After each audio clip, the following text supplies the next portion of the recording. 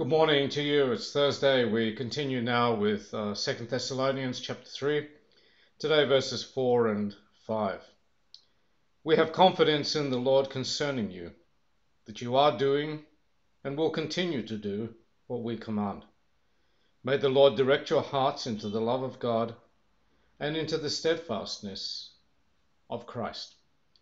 Paul is very confident in the Thessalonians that they will continue to do what uh, they are doing and will continue to do what he has commanded.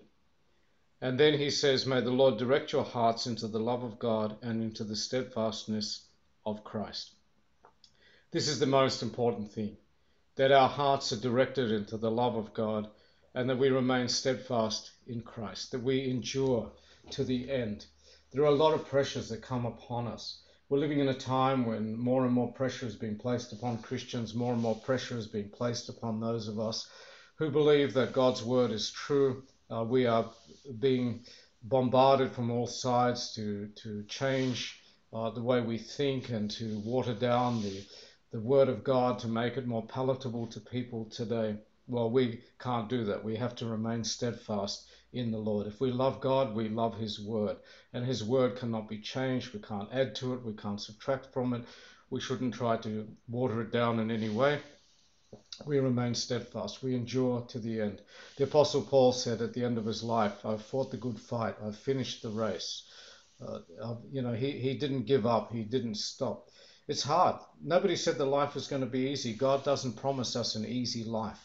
What he promises us is that he will walk beside us and be with us all the way. David wrote in Psalm 23, The Lord is my shepherd. And then he said, Even though I walk through the valley of death, I fear no evil, for thou art with me. Thy rod and thy staff, they comfort me.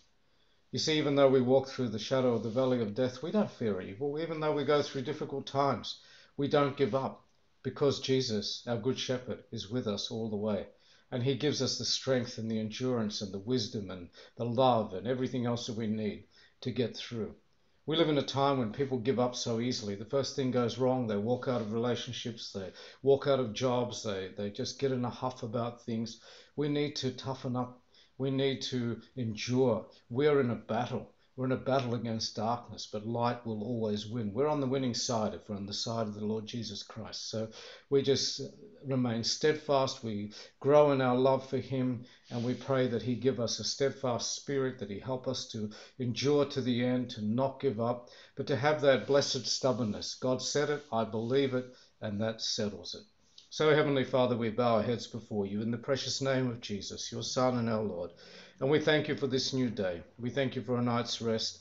We say, Great is your faithfulness. We say, Lord, thank you so much for saving us, for sending Jesus to die on the cross, to pay our sin debt in full, so that we may be your children. We thank you, Lord, and we ask that you would help our love to continually grow. We pray that you would lead us and guide us. Our daily prayer is, Lord, take my hand and lead me over life's rough way. With heavenly manna feed me from day to day. Without your grace and favor I go astray. Choose thou my way, O Saviour, choose thou my way. Lord, we just ask that you would help us to endure, help us not to give up, help us to remain steadfast. Fill us anew with your Holy Spirit, for without your Spirit we can do nothing. But with your Holy Spirit we can be like the Apostle Paul, who said, I can do all things through Christ who strengthens me. So, Lord, we just entrust it all to you and we ask your blessing over this day. We pray, Lord, for our country. We thank you for the freedom that we enjoy. And, and we pray for those who are in leadership that you would give them wisdom and understanding and help them, Lord, to make the right decisions and to do the right thing. We pray for those who are living under tyranny. We pray for those who find themselves uh, in war torn areas in Israel, Palestine, and Lord, also in the Ukraine. Uh, Lord, we pray, have mercy. We pray, Lord, uh, have mercy on those who are lost. There are many, many that do not know you yet, Lord, and we pray that the gospel would reach out and touch their hearts. We pray, Lord, for those who are suffering. We pray for those who are sick. We pray for the dying. We pray, Lord, for those who mourn. We pray for those who are simply just meandering through life and don't know where to go or what to do. We also thank you, Lord, that you invite us and you say, Come to me, all who labor and are heavy laden, I will give you rest. So we pray for those who are feeling stressed and under burden that they would just learn to just turn to you and to give it to you, Lord, and to receive the rest, the peace, and the joy that you offer to us. Heavenly Father, we pray for our families. We pray that love would increase. We pray that you would give us wisdom and understanding and help us, Lord, to navigate through this life in a way that brings honor to you. May your light shine in and through us today and always. Help us to love our neighbors as ourselves. Help us, Lord, to be good ambassadors for you. That is our desire. And now, Father, as we pray, we join together in praying, Our Father who art in heaven, hallowed be your name. Your kingdom come, your will be done on earth as it is in heaven. Give us this day our daily bread. Forgive us our trespasses as we forgive those who trespass against us.